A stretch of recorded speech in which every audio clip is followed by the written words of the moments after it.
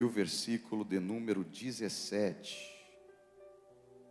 Livro de Apocalipse, capítulo de número 2 e o versículo de número 17 está ali na tela, glória a Deus. Eu estarei lendo para ganharmos tempo e logo em seguida, no 3, eu gostaria que com você repetisse esse versículo em alto e bom som nessa noite.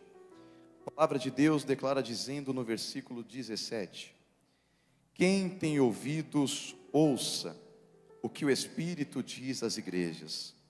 Ao que vencer, darei eu a comer do maná escondido, e dar-lhe-ei uma pedra branca e na pedra um novo nome escrito, o qual ninguém conhece, senão aquele que o recebe. No 3, será que você pode repetir em alto e bom som? Um, dois, três.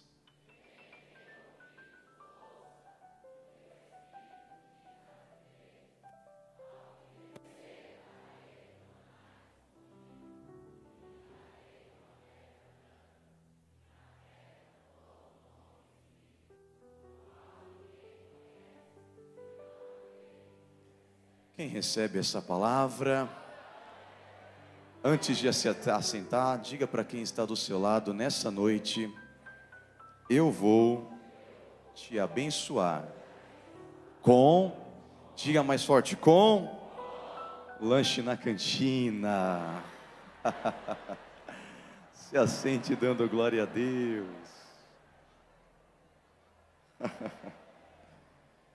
Falou de comida e alegria para o crente. Deus abençoe a vida de vocês, viu? Prazer e alegria muito grande está na abertura deste grande congresso, que é uma referência no estado de Goiás. Que Deus abençoe a vida de vocês. Quero ser muito rápido e objetivo nessa noite. Então, em poucos minutos, quero compartilhar essa palavra ao seu coração. Se você puder, ouça isso. Antes de Jesus manifestar o seu juízo ao mundo, primeiro, ele o manifestou à sua igreja.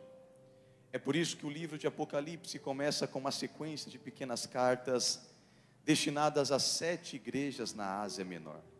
E a terceira carta é a carta à igreja de Pérgamo.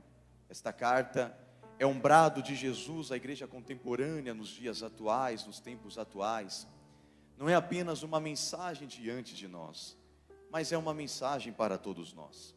A palavra Pérgamo significa casado, porque a igreja precisa sempre entender, se lembrar e compreender que é noiva de Cristo e que por isso deve se apresentar como uma esposa que é santa, pura, mas que principalmente é incontaminada.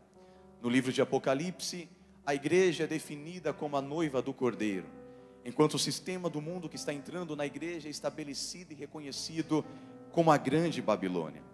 Então, o ponto central desse texto, dessa carta e dessa passagem é exatamente alertar a igreja dos riscos e dos perigos, da mistura do povo de Deus com o mundo e as consequências que isso poderia trazer caso não houvesse um arrependimento sincero, uma mudança completa, uma transformação verdadeira.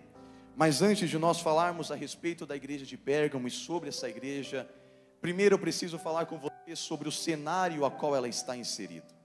A Bíblia nos diz que Pérgamo era uma cidade que ocupava um lugar muito especial na Ásia.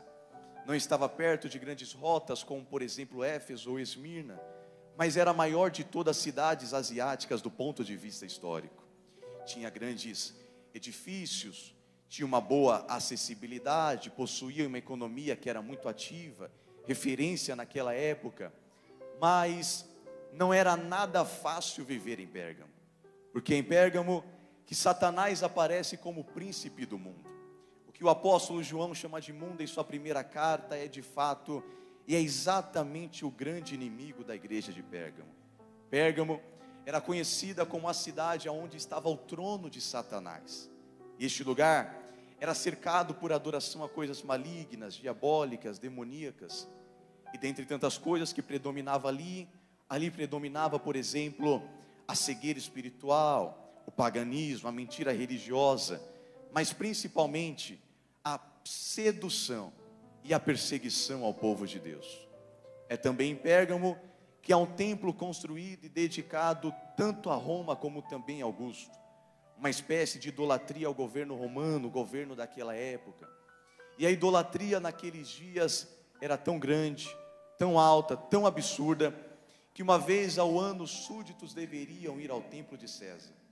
E enquanto eles estavam no templo de César, eles deveriam declarar em voz alta, dizendo: César era o Senhor deles, porque isso era símbolo de lealdade ao governo romano, governo que dominava naquela época.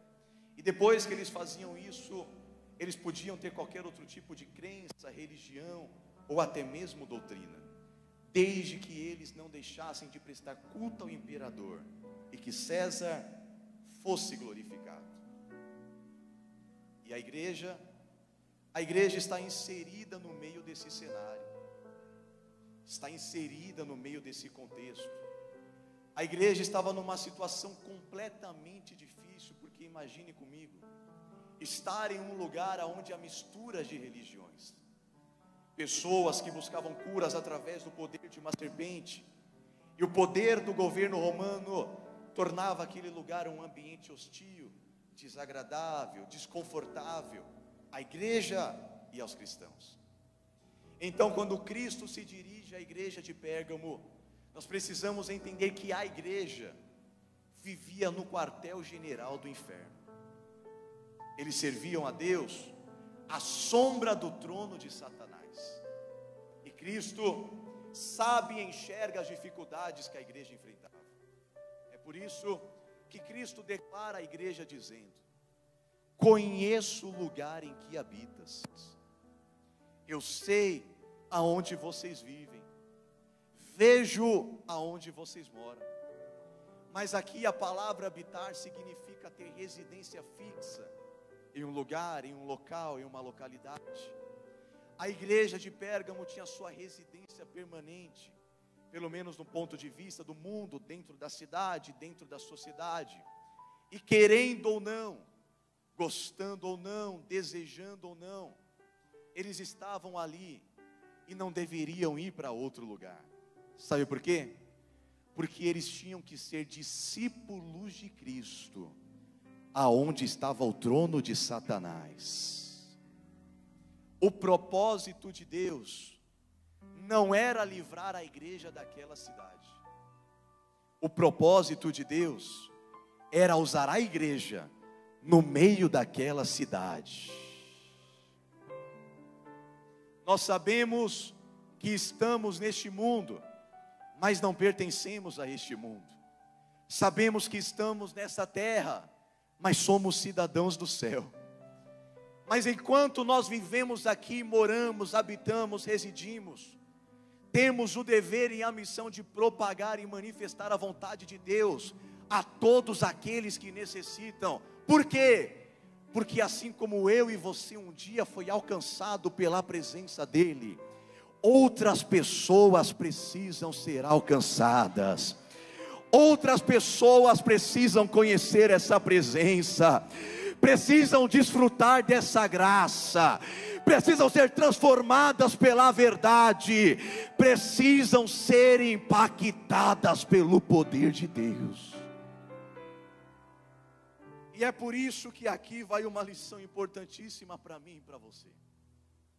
O princípio da vida cristã não é escapar mas sim conquistar pelo poder de Deus. Ô irmão, será que você pode me ajudar nessa noite? Segurar na mão de quem está do seu lado, dá uma chacoalhada aí, quem está do seu lado, isso, dá um empurrãozinho nele, isso, não deixa ele dormir, não, e declare para ela, declare para ele, dizendo: Deus te chamou. Não diga mais forte, diga: Deus te chamou para conquistar olha com uma cara bem feia e diga para ele: não escapa não.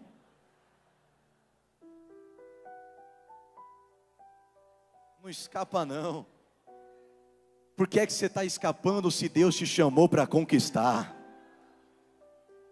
O dever de um verdadeiro cristão transformado pela presença de Deus, é dar testemunho aonde Deus o colocou e manifestar a vontade de Deus, independente se o lugar é bom ou se o lugar é ruim, se o lugar é agradável ou é desagradável. Nós temos uma missão de conquistar pelo poder de Deus. Só que hoje, muitas das vezes, e a grande verdade é, que muitas das vezes, nós estamos preparados para assumir o microfone diante de um público, mas muitas das vezes não estamos preparados para evangelizar o vizinho que está do lado. Por quê? Porque é muito mais fácil ser crente na igreja. É muito mais fácil ser crente em quatro paredes, ao lado dos irmãos, na frente do pastor, na frente do líder, na frente dos pais, na calmaria, no descanso, no conforto, na tranquilidade. Mas o que Deus quer mesmo é que assim como você é crente aqui dentro, que você também seja crente lá fora.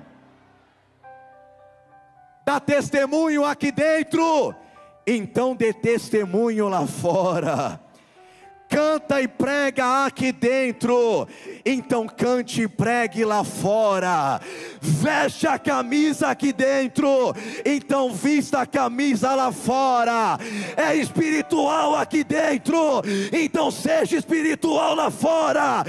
Fala em línguas aqui dentro, então não fala palavrão lá fora.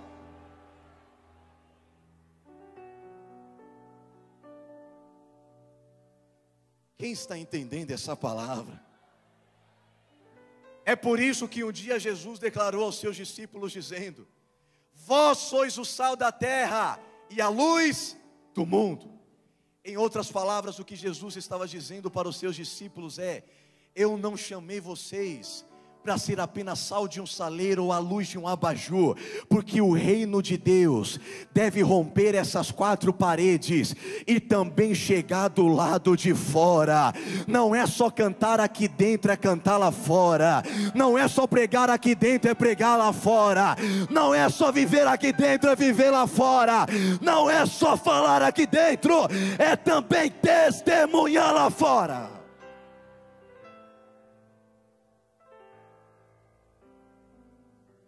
Só que tem muita gente disposta a exibir seu cristianismo somente dentro da igreja.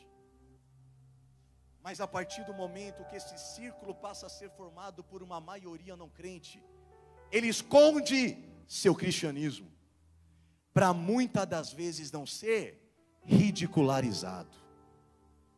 Mas em nome de Jesus, você não pode deixar de ser o que Deus te chamou para ser só porque você habita no meio de pessoas que ainda não entenderam o que são.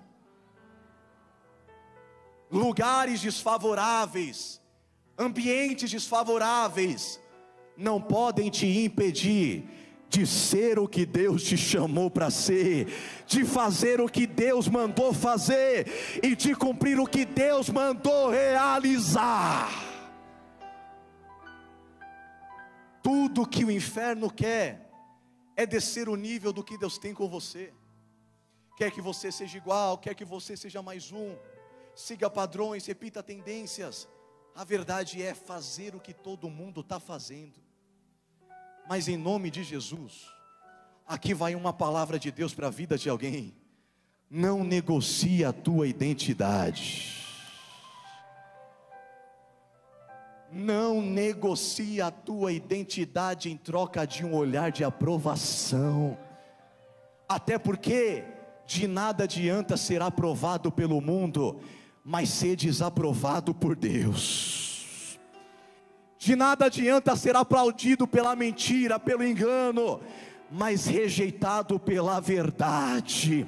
Então, em nome de Jesus, é melhor ser criticado, perseguido, caluniado, difamado, zombado, ridicularizado, por ser aquilo que Deus te chamou para ser, do que ser aplaudido por um mundo corrupto e não ser o que Deus te chamou para ser.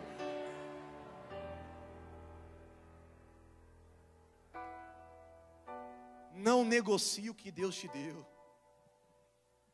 O que Deus colocou na tua mão. Seja fiel ao propósito dele. O que faz alguém ser diferente em Jesus Cristo, em fazer e viver a vontade de Deus.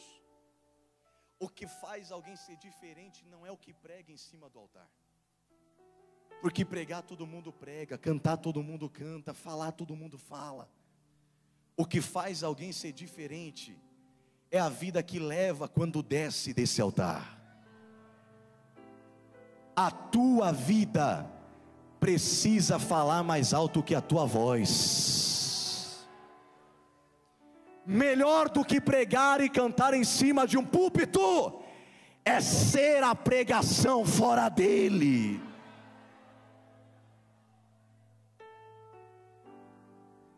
Entendam uma coisa: a Bíblia que o mundo lê é a nossa vida.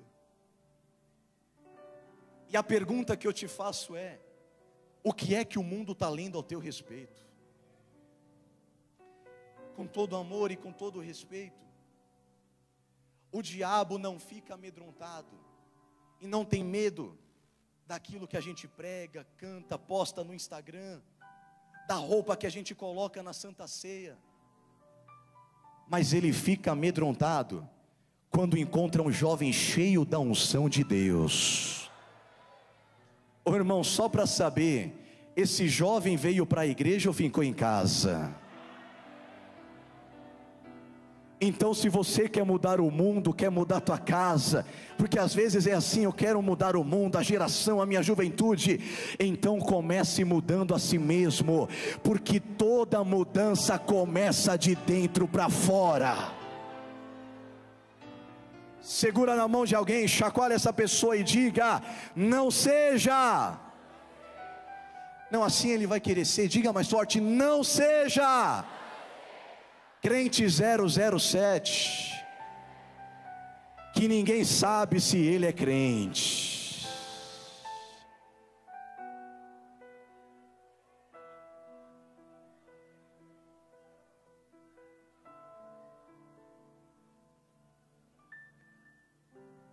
Aqui vai uma palavra de Deus para a vida de alguém.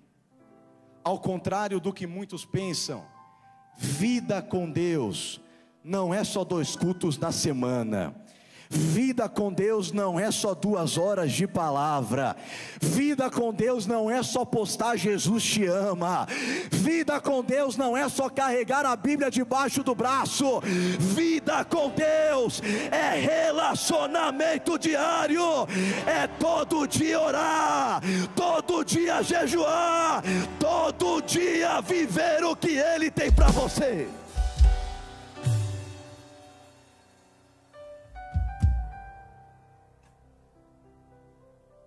Mas Igor, como é que eu vou influenciar? Ser diferente. Você não sabe o lugar que eu vivo, a faculdade que todo dia eu tenho que entrar, como é minha família, minha casa, minha rua, meu bairro. Você não tem ideia. Mas eu vim como profeta de Deus para dizer para você: se prepare, porque você vai florescer. Ah, meu Deus, tem alguém que crê nessa palavra? O que Deus está dizendo para alguém é: o meu propósito não é te livrar desse lugar, o meu propósito é te usar no meio dele. Então, em nome de Jesus, se prepara, porque você vai começar a florescer aonde você foi plantado.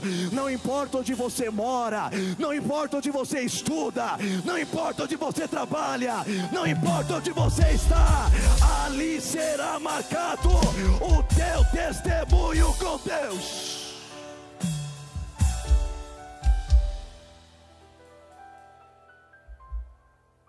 Eu declaro na tua vida que não é o mundo que vai te atrair, não é essa faculdade, essa escola, não, é você, pelo poder de Deus, que vai atrair essa geração para Ele. Só você que está crendo e entendendo essa palavra, levanta as duas mãos para o céu nessa noite. Isso, lá no terceiro andar, isso, joga as duas mãos para o céu e por um minuto interrupto, faz aquele barulho que só Formosa sabe fazer aí, vai. Arracantaramachaias. Se tem glória, dá glória a Deus. Se tem aleluia, dá aleluia. Porque Deus está dizendo para alguém: Eu estou levantando essa juventude para incendiar. E essa cidade não vai ser conhecida pela droga, pela bebida, vai ser marcada pela presença, presença, presença, presença.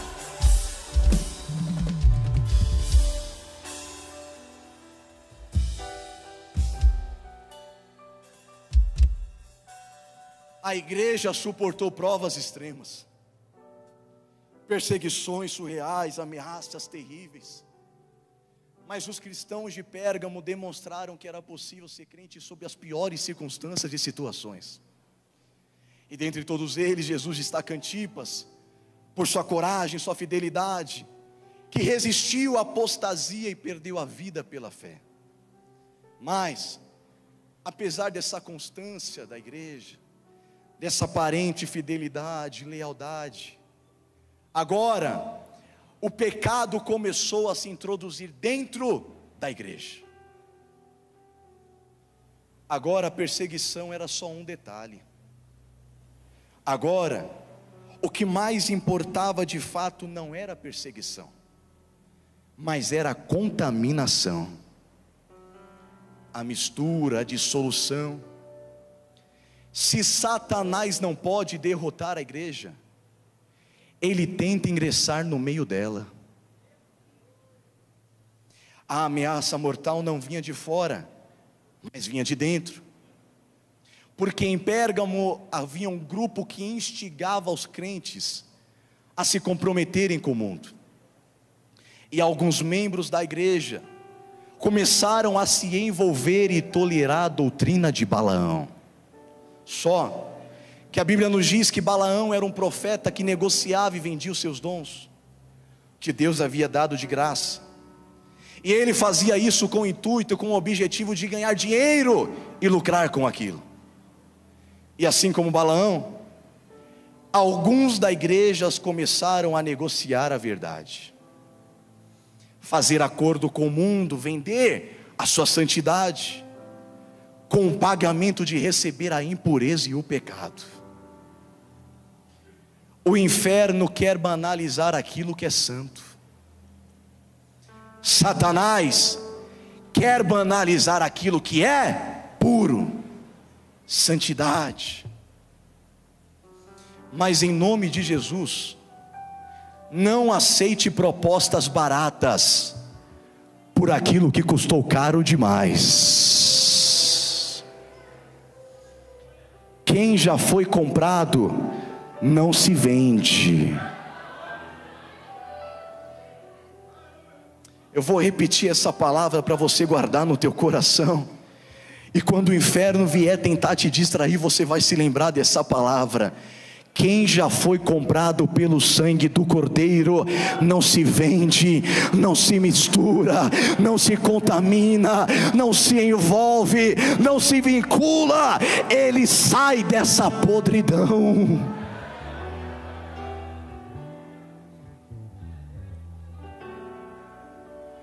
Agora, o mundo quer nos dizer e quer tentar nos convencer que agora os tempos são diferentes. Agora a realidade é diferente. Agora tudo pode, pode tudo. É normal não ter princípios. Na sociedade é comum não ter valores. Agora não é mais mundanismo, agora é modernismo. Mas o que é santo continua sendo santo pecado continua sendo pecado, o que é certo continua sendo certo, errado continua sendo errado, e por mais que o mundo grite lá fora dizendo: está liberado, Eu vim pregar para uma juventude aqui em Formosa, Goiás, que ainda declara e grita bem alto para todo mundo ouvir: se Deus não gosta, está proibido. Se Deus não aprova, está proibido. Se Deus não ama, está proibido. Se Deus não ensina, não está liberado. Permanece proibido. Será que você pode dizer para alguém, continua proibido, viu irmão? Isso, diga para alguém, continua proibido.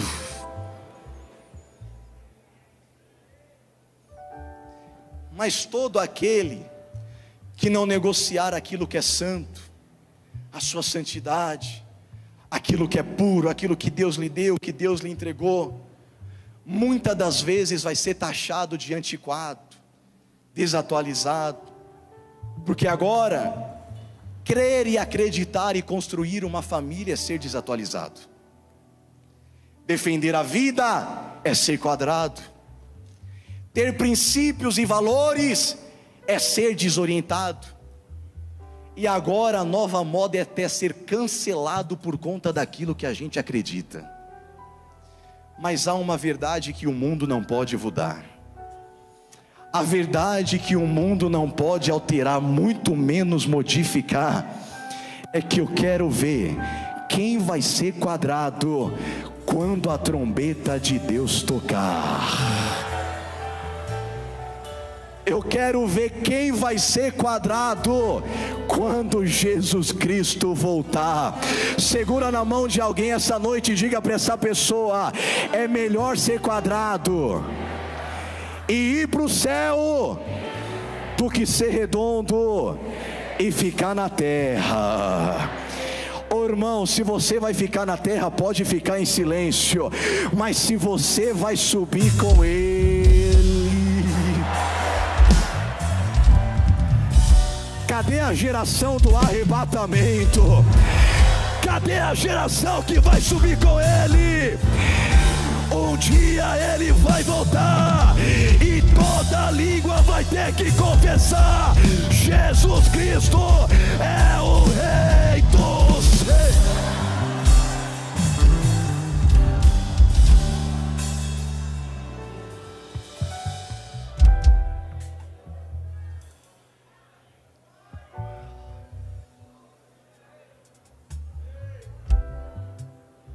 É por isso que Satanás fica louco comigo e com você. Num sábado como esse, uma igreja abarrotada de jovens, ele fica desesperado, porque lá fora, eles correm atrás de trio elétrico um, dois, três, quatro dias, quantos dias mais? Mas aqui dentro,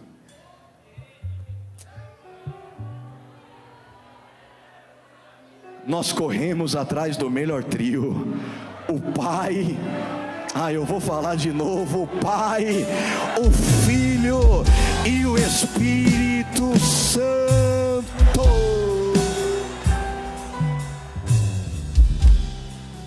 Lá fora, Pastor Marcivon, em São Paulo é assim. Nesse horário, 9 horas, 9h57, caminhando para as 10 Está todo mundo se arrumando para sair de casa. Vai passar a madrugada inteira fora. Vai para o carnaval. Vai sair, vai fazer tudo o que não presta.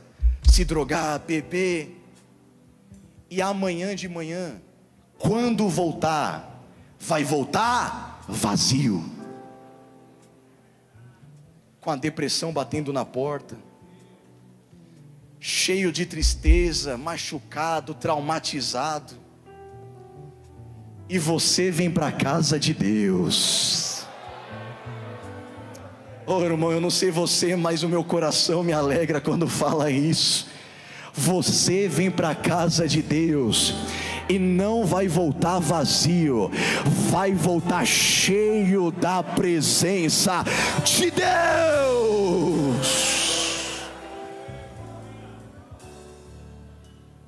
Por isso que eu te disse que o inferno já perdeu mais uma guerra só de você ter chegado aqui hoje. porque lá fora a alegria acaba em quatro dias, mas o que você vai viver aqui dentro dessa casa, dessa igreja, não vai acabar em um dia, não vai acabar em dois, em três, em quatro, mas vai permanecer para todo sempre.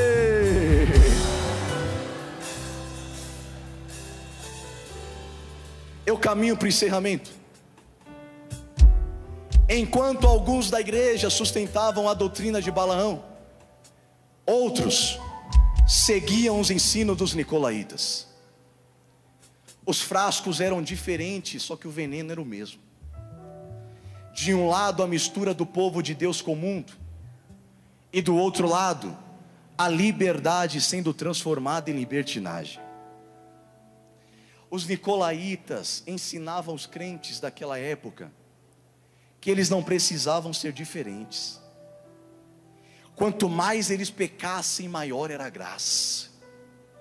Quanto mais eles cedessem à tentação, maior era a oportunidade de perdão. Eles declaravam uns aos outros, dizendo: Nós não estamos mais debaixo da lei, agora estamos vivendo o tempo da graça a gente pode viver sem regra, sem freio, sem confronto, sem mudança. Cuidado. O inferno quer te convencer que talvez o pecado não seja tão ruim assim. Só que guarde isso no teu coração. A maior vergonha para um crente não é estar tá sujo, porque quem está sujo pode e deve se limpar. A maior vergonha é é tá sujo fingindo que está limpo. É por isso que o mundo bate diariamente na porta da tua vida dizendo: que mal tem. Vim na igreja hoje, mas próximo sábado está em outra festa. Que mal tem conversar algumas coisas, andar com algumas amizades, realizar algumas vontades seus pais não vão ver, seus líderes não vão saber, seus pastores não vão descobrir, e no final é só pedir perdão para Deus, Ele vai te perdoar, e no dia seguinte você volta a praticar a mesma coisa. Muito cuidado. O que olho humano não enxerga, o Espírito Santo ainda revela. O que você não tem coragem de fazer na frente dos outros, também não deveria fazer quando está sozinho. Quem deixa de fazer o mal somente porque os outros estão vendo, não está se importando com caráter, só está se importando com reputação. Diante dos homens é importante ter credibilidade, que leva a reputação, mas diante de Deus, você precisa é ter caráter é de lá que vem a autoridade do céu para você.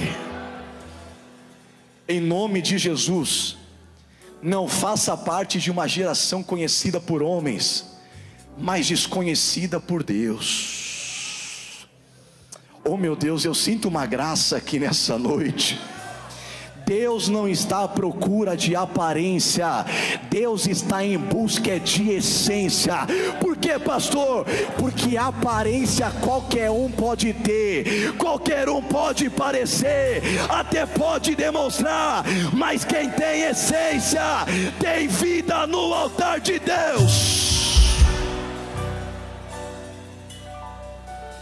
Chacoalhe alguém que está do teu lado e diga para essa pessoa: menos estética e mais essência. Não adianta ter rosto bonito, não adianta cantar bonito, não adianta ter boa oratória. Deus não está à procura do que se mostra por fora, Deus está em busca é do que se vive por dentro.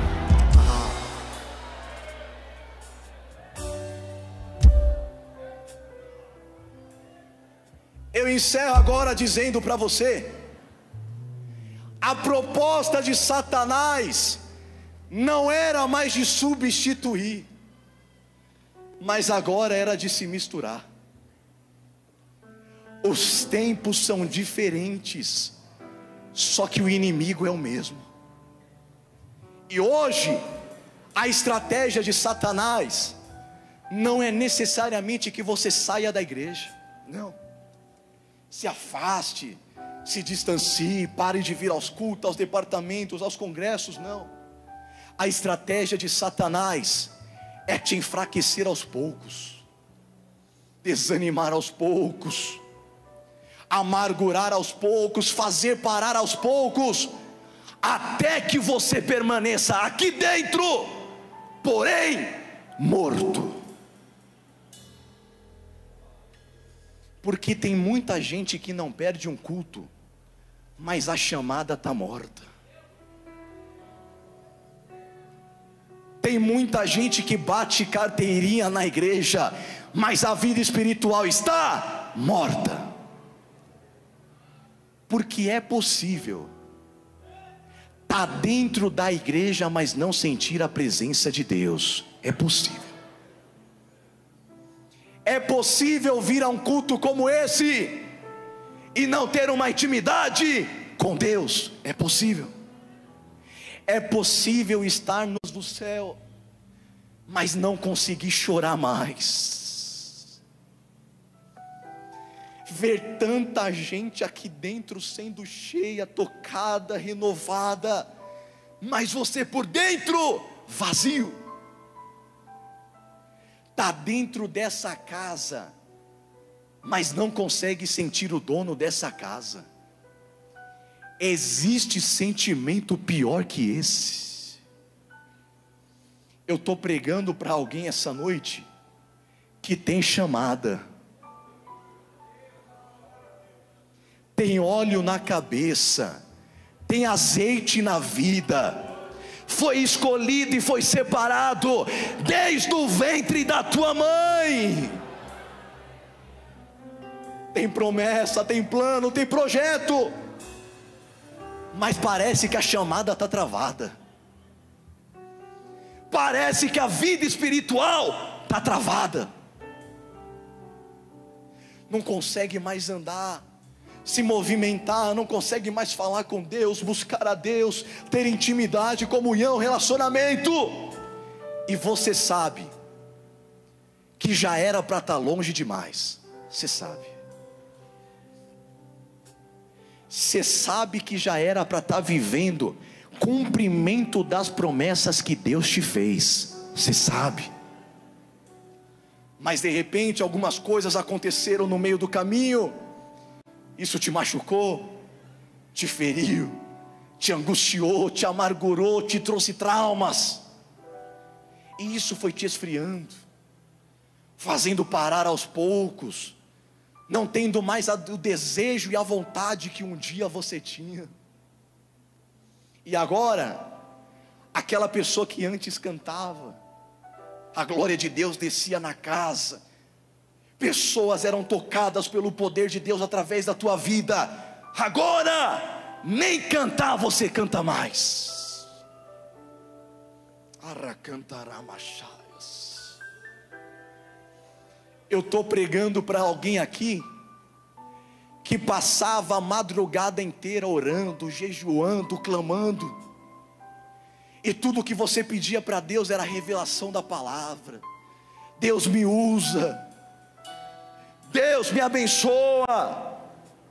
Você pregava, você ministrava, no final pessoas te encontravam dizendo: Deus falou comigo, Deus te usou, e agora nem abrir a Bíblia você abre mais. Eu estou falando para alguém aqui que buscou tanto batismo com o Espírito Santo, não faltava uma vigília, consagração, estava no culto todo dia, toda hora, tinha sede, tinha vontade. Mas quanto tempo que você não fala mais em língua estranha? Quanto tempo que você não sente mas essa chama arder dentro do teu coração. Quanto tempo? Lembra daquilo que você falava com Deus, da intimidade que você tinha com Ele, da comunhão. mas de repente aquela pessoa que era referência para tanta gente, hoje, às vezes nem levantar da cama você consegue mais. Tem dias que você só quer ficar no escuro, sem falar com ninguém, sem encontrar ninguém. Os machucados, as feridas te traumatizaram. E hoje, nem esperança você tem mais para o teu futuro. Eu estou pregando para alguém que pessoas se aproximaram de você para arrancar os teus valores. Teu zap chegava a mensagem toda hora, teu ombro batia de tanta gente que tocava nele dizendo: Tamo junto, conta comigo. Mas de repente, quando aconteceu algumas coisas, alguns problemas, algumas dificuldades, te abandonaram, te esqueceram e te deixaram no meio do caminho, e isso te machucou. Eu estou pregando aqui para jovens, para moças, que foram feridas sentimentalmente. Você tinha sonho, tinha projeto, tinha plano, mas de repente tudo foi para o fundo do poço, e hoje a sensação que você tem é que Deus se esqueceu de você nessa área. Não acredita mais, não confia mais, não tem mais esperança. Eu estou pregando para alguém que sonhava em ser bem sucedido na vida profissional, fez de tudo, se empenhou, deu o seu melhor, mas imprevistos aconteceram, te jogaram de lado, parecia até que você não tinha valor, e aquele sonho, aquele projeto que você tanto lutou, tanto se empenhou, foi para o fundo do poço. Eu estou pregando para alguém que nasceu em um lar despedaçado, foi fruto de uma gravidez indesejada. Você cresceu com pessoas dizendo para você: você foi um erro, seu nascimento foi uma falha vai terminar na droga, na bebida, vai terminar no fundo do poço, vai seguir o caminho do pai, da mãe. E quantas vezes você levou essa palavra para dentro do teu coração, e isso foi te fazendo parar aos poucos. Eu estou pregando para alguém essa noite, que sente um vazio tão grande, mas que já foi tanto cheio, já foi tão preenchido, já sentiu tanto a glória de Deus, mas hoje está vazio. E a impressão que dá para você é que às vezes esse vazio é maior do que aquilo que Deus pode fazer na sua vida. Entra ano, passa ano, entra mês, passa mês, e parece que esse ciclo não encerra, não acaba, não termina e você está cansado, está amargurado, está traumatizado. O Espírito Santo toca no meu coração para dizer que alguns jovens até pensaram em se cortar devido a esse tamanho do vazio que tem dentro de você. O espírito do suicídio rodeou a tua casa, o teu quarto. E quantas vezes o inferno tentou fazer você acreditar que se for embora, ninguém vai sentir tua falta, que você é um peso para outras pessoas, que você é um peso para tua casa, para tua família, para os teus líderes. E quantas vezes você já chorou, derramou lágrimas? Quantas vezes você já implorou por socorro? Quantas vezes você já teve que sorrir na sala? mas ia para o quarto com teu coração gritando por socorro.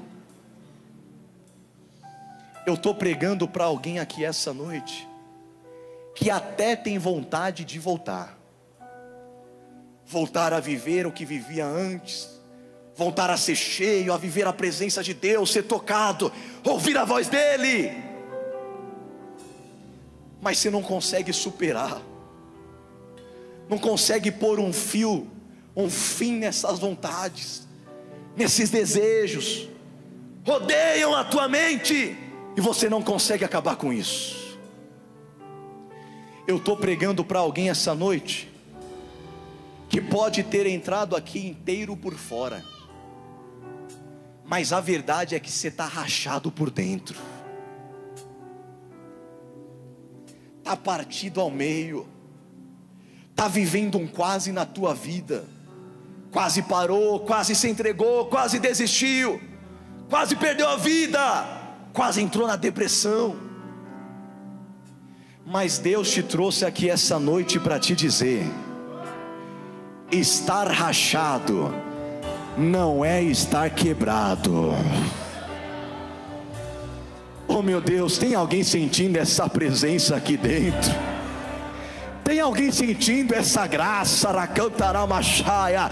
Porque o Espírito Santo de Deus trouxe alguns jovens aqui dentro para te dizer: eu não desisto de você, eu não abro mão do teu propósito, da tua promessa, do teu chamado, eu não abro mão do que te prometi.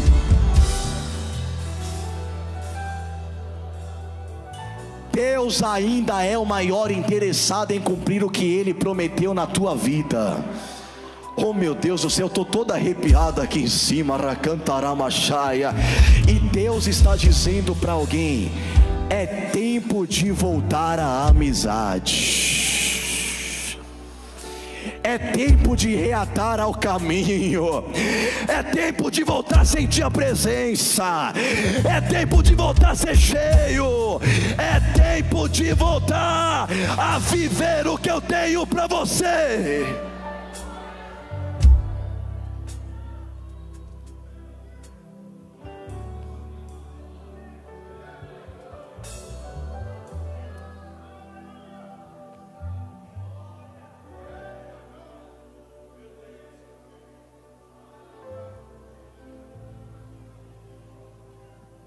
Eu estou pregando para alguém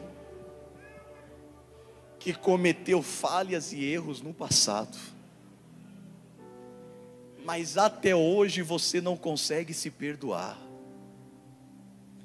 e ainda acha que Deus nunca vai perdoar você por aquilo que você cometeu. Eu estou pregando para alguém aqui essa noite, oh meu Deus do céu, Estou pregando para jovens, para adolescentes aqui dentro, que o inferno já tinha decretado que era o teu último congresso. Mas Deus te trouxe aqui para mostrar para o inferno e dizer para ele: tem vida de Deus chegando para ele. Será que você pode segurar na mão de alguém e dizer para essa pessoa: Fique em paz, porque é no cenário que você mais foi machucado que Deus vai te usar para curar outras pessoas.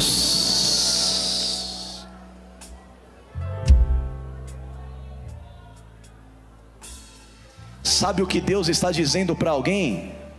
O que te adoeceu vai ser remédio para os outros. O que você supera vai se tornar um canal de cura para quem precisa superar. Sabe o que isso significa?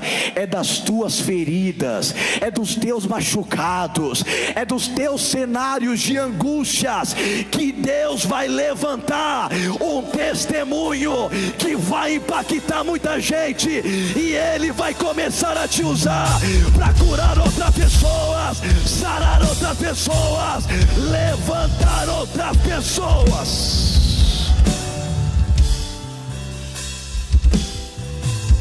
Oh meu Deus, eu creio que tem recomeço de Deus aqui dentro. Será que você pode levantar tua mão para o céu? E só você que acredita no recomeço de Deus, faz o barulho aí que Satanás não gosta, vai. Isso. Na tua glorificação tem cadeias caindo aqui agora. É no teu glória a Deus que tem inimigos se afastando da tua casa, porque a ordem de Deus hoje é: Satanás, bate em retirada, porque ele tem dono, tem dono, tem dono.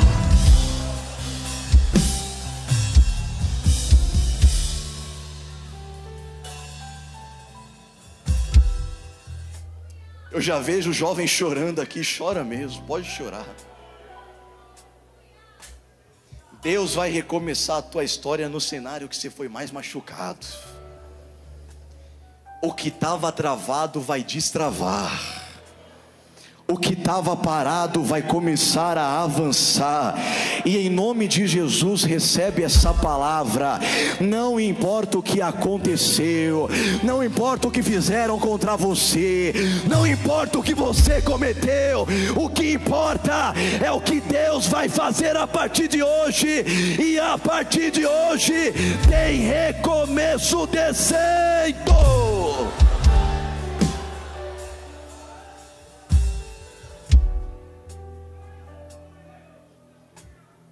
Com a permissão do pastor dessa igreja, pastor Marcivol, se coloque de pé.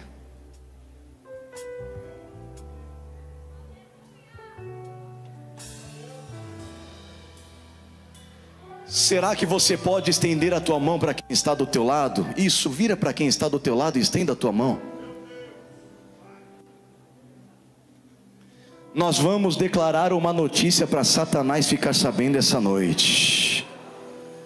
Antes de nós declararmos, pergunte o nome de quem está do seu lado aí, pergunte isso.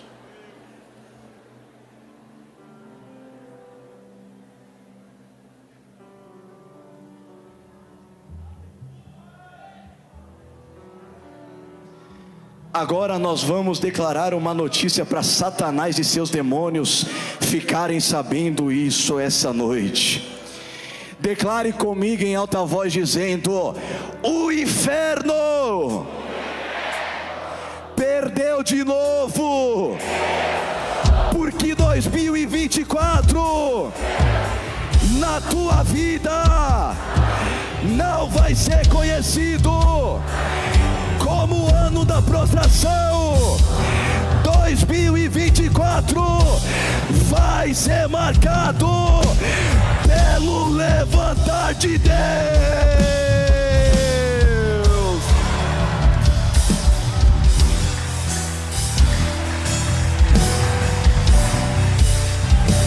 Vai voltar, vai voltar a cantar, vai voltar a pregar, vai voltar a ser cheio, cheio, cheio.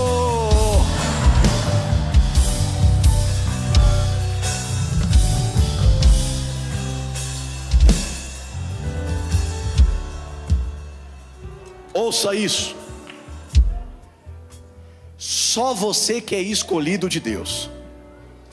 Tem escolhido de Deus a casa? Ou se guarde no teu coração. Essa noite é proibida para perfeitos. O que Deus quer são os dependentes da presença dEle. Então, só você que é escolhido, eu não sei se você está na galeria, no último lugar, aqui na frente, ao lado. Mas eu quero te convidar aqui agora a você viver um algo novo da parte de Deus sobre a tua vida. Chega de viver na superfície, chega de viver o que é normal, chega de viver o que é comum. Deus vai inaugurar aqui hoje o sobrenatural do céu. Só você que é escolhido de Deus eu quero te convidar a vir aqui na frente agora que eu quero orar pela sua vida. Eu não sei aonde você está, mas sai correndo do teu lugar. Vem correndo aqui na frente, isso. Sai do teu lugar, isso. O Espírito Santo de Deus toca no meu coração que há muitos jovens que precisam vir aqui na frente aqui agora. Isso, vem correndo, vem. Sai do teu lugar aonde você estiver. Eu não sei se você está na galeria, mas desce da galeria. Porque tem um encontro de Deus marcado com você aqui agora. Isso, vem correndo, vem correndo. Pastor, eu preciso viver algo novo. Então corre aqui na frente agora. Pastor, eu estou muito machucado, preciso ser curado.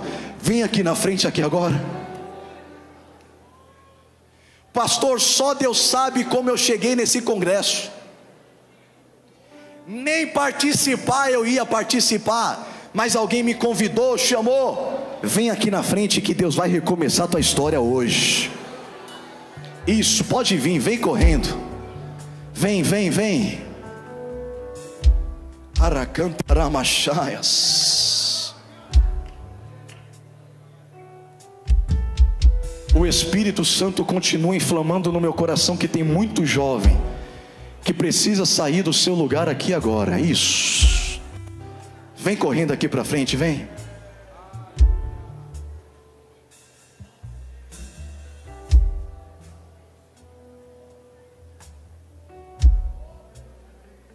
Pode vir, ainda dá tempo. Vem, tem muita gente descendo da galeria. Pode vir. Corre aqui na frente, vem, tem muito espaço ainda.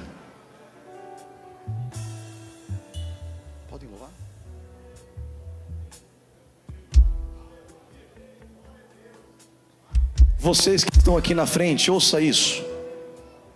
Quem ainda não é batizado com o Espírito Santo, levanta sua mão bem alto. Você que não é batizado. Será que você pode vir aqui na frente, nessa parte aqui? Vem correndo aqui na frente, isso. Vem aqui, você que não é batizado ainda com o Espírito Santo. Pastor Marcivão, com a permissão do Senhor, os obreiros podem orar por essas vidas que ainda não são batizadas com o Espírito Santo, os líderes. Com a permissão e autorização do pastor Marcivão, gostaria de pedir para todos os obreiros que pudessem descer aqui para orar por essas vidas, por cada um desses jovens aqui na frente. Isso. Você que ainda não é batizado com o Espírito Santo, vem, pode vir. Quem crê aqui que Deus vai batizar aqui essa noite? Isso. Os pastores podem orar? Se os pastores puderem descer para orar pela vida de cada um desses jovens, com a permissão do pastor Marcivão, isso. Isso. Eu creio, Arracantaramachaias. Eu creio que tem brasa de fogo na mão desses homens aqui agora.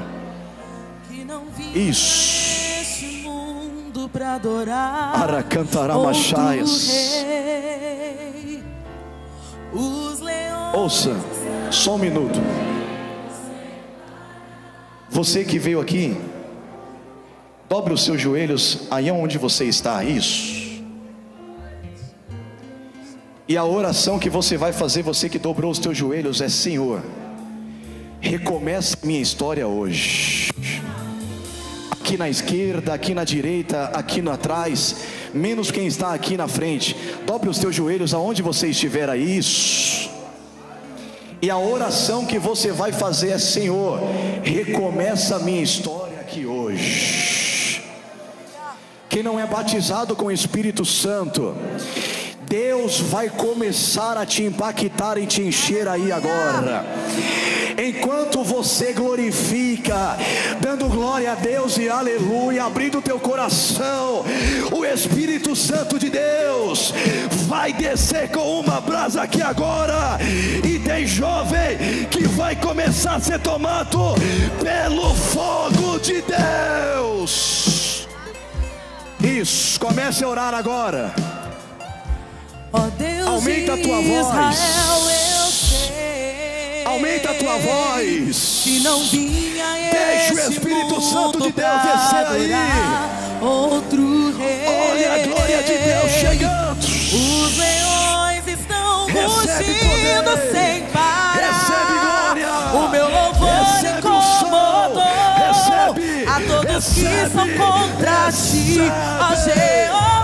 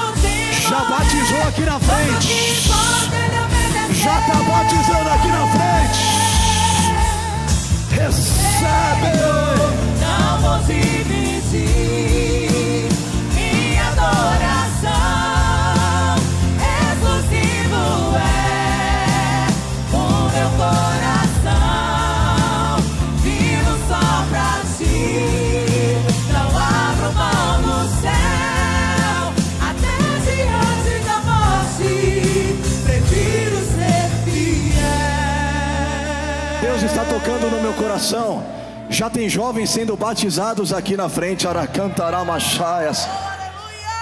Você vai dar um abraço e quem está do teu lado aí, isso. E nesse abraço vai ter renovo de Deus chegando aqui agora. Isso.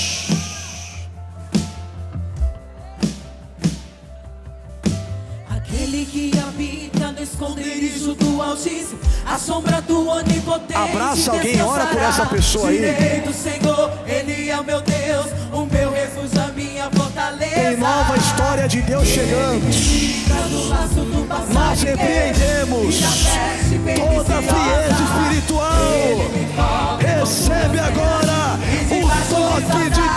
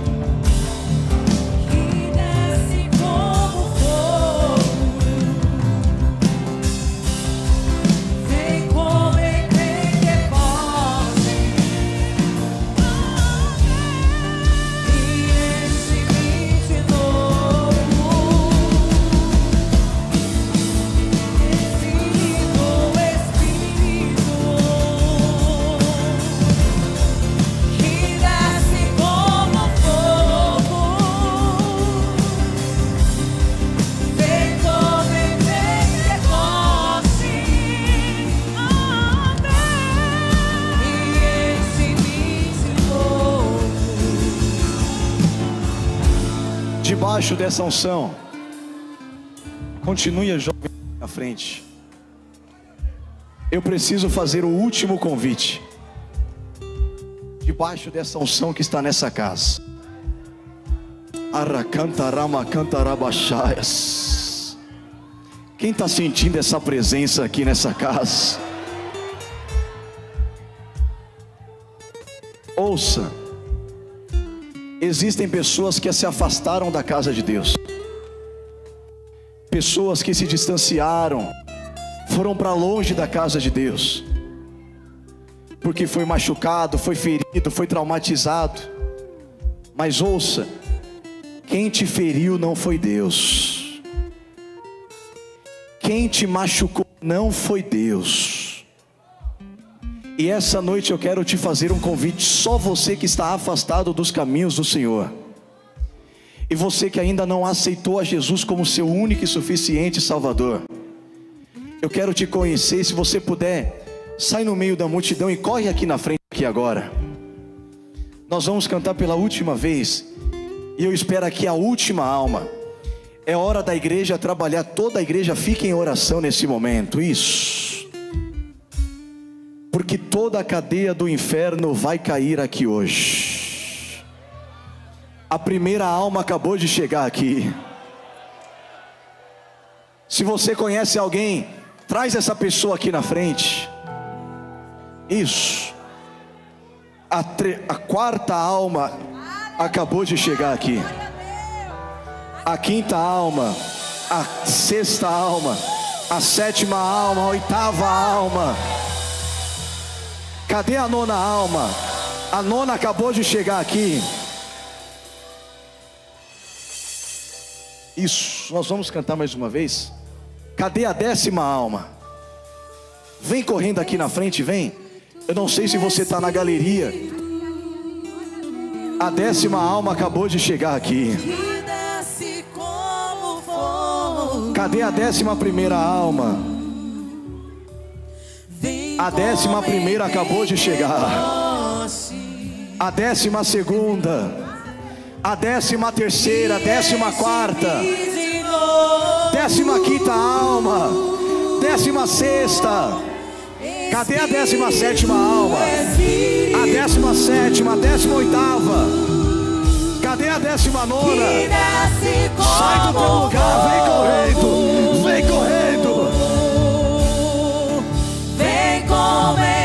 Décima nona está chegando aqui. A vigésima está chegando aqui. Vigésima primeira. Cadê a vigésima segunda alma? Sai do teu lugar aí. Vigésima segunda.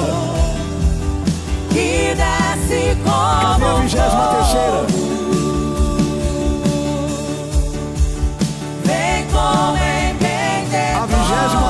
Está chegando aqui. Vigésima quarta. E enche-me de. Cadê a vigésima quinta alma? Traz esse jovem aqui na frente. A vigésima quinta chegou. Espírito, Cadê a vigésima sexta alma? Traz essa pessoa aqui. Seja usado por Deus. fogo. Vigésima sexta. Como em Pentecoste. Vigésima sétima alma. Cadê a vigésima oitava? Enche-me de dor. Vigésima oitava chegou aqui. Vigésima nona alma, cadê você? Deus não aceita te perder, volta. Volta pra casa dele. Derrama tua glória. Vigésima nona. Cadê a trigésima alma?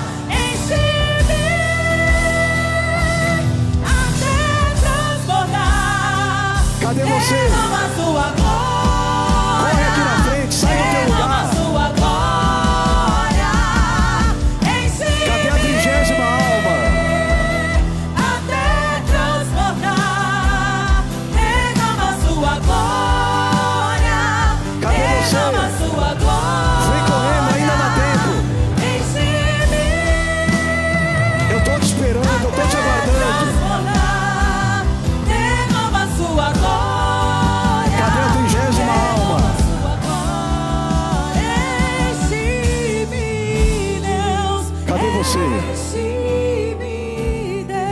Convite que eu te faço. Corre aqui no altar agora. Se você conhece alguém, vai ao encontro dessa pessoa, faz esse convite. Isso.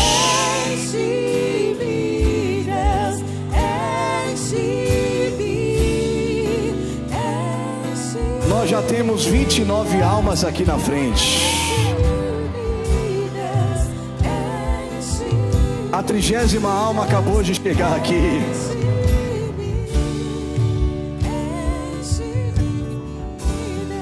Ouça isso. Eu irei entregar agora. Mas o Espírito Santo ainda toca no meu coração que existe alguém que ainda está travado e não consegue vir aqui na frente. E pela última vez eu quero te convidar, saia do teu lugar e vem aqui agora. Trigésima primeira alma. Trigésima segunda chegou aqui. Trigésima terceira alma. Cadê a trigésima quarta?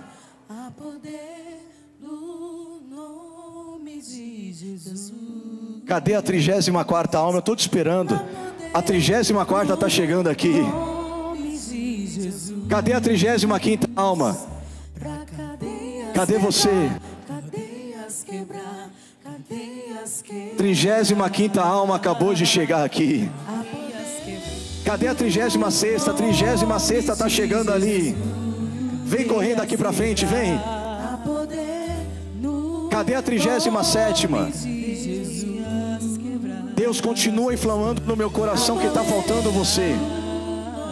Só falta você para a gente encerrar. Cadê você? Aracantará machaias.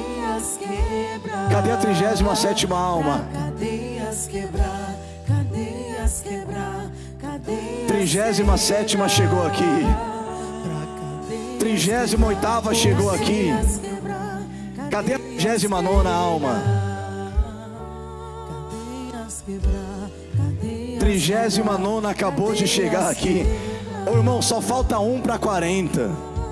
Cadê você? É o último convite que eu faço. A quadragésima alma acabou de chegar aqui.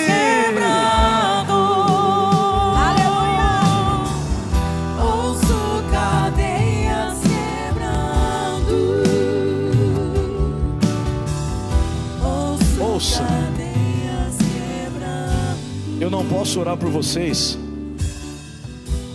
porque vocês têm um pastor, e ele se chama Pastor Marcivon. Mas nessa casa você pode ter certeza de uma coisa: aqui você vai ser bem cuidado, vai ser amado, e Deus vai inaugurar um tempo sobrenatural na tua vida. Será que você pode virar para a igreja para ver a sua nova casa e a casa que você vai frequentar a partir de agora? Você pode aplaudir a Deus?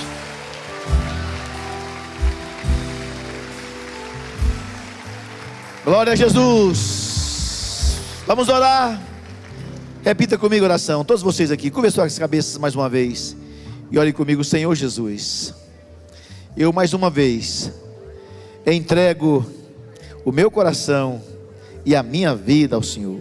Senhor Jesus, escreva novamente o meu nome no livro da vida. Dai-me o teu Espírito Santo e ajuda-me a permanecer nos seus caminhos até o arrebatamento da igreja. Minha vida, Senhor, agora é sua vida. Amém. Diga amém. Glória a Jesus. Vamos aviso, aguarda aqui, vamos aviso. Segura aí, aviso. Aleluia. Glória a Jesus.